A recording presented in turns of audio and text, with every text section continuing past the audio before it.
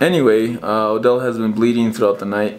That's because uh, the botworm, you know, it needs to eat, so it chews away and it causes bleeding in the arm. Also, it defecates throughout the night. And it defecates throughout the night inside his arm. Okay, so this is uh, the botworm lodged inside Odell's arm. That's what it looks like.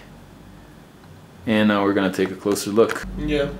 So, yep, that is the botworm. That's the cave. You can clearly see the hole there, and that's where it lives. Okay, so we've turned this uh, iPhone into a microscope. We've attached a mini microscope to it um, to observe the botworm here.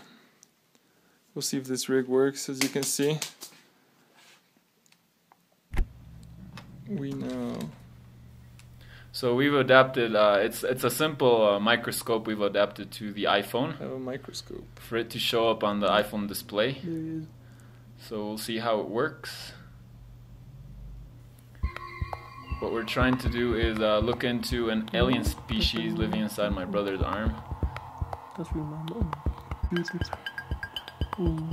Uh, it should work on his arm also, and where his uh, where the hole where this thing is living.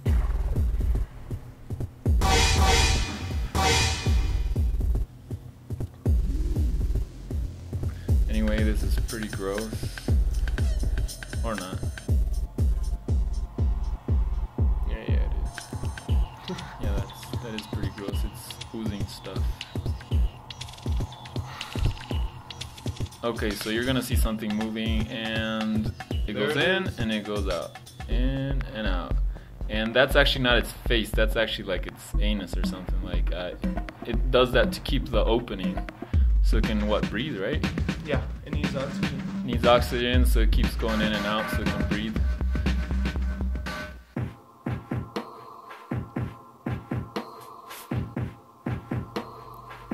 And that's it. On the other side, uh, you have its head, and uh, with with um, a mouth, and it's chewing away. And I don't know why they put that in there, but.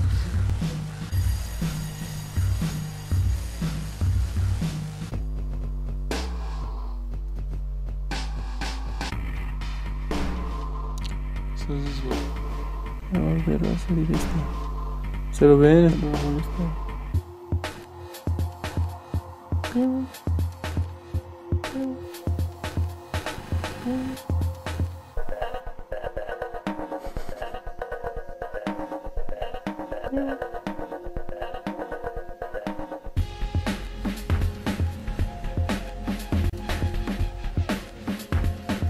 And those are actually uh, botworm egg- eggs, and they lodge uh, beneath the wing of a fly. And the fly is called a vector. It's what carries it around and deposits it in different places.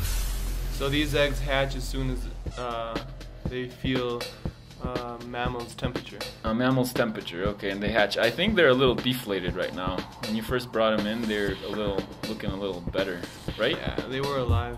Yeah, they were alive. Okay, I didn't survive in the pause though. Now they're dead. They were like uh, they actually look like a banana cluster, uh, same color, white.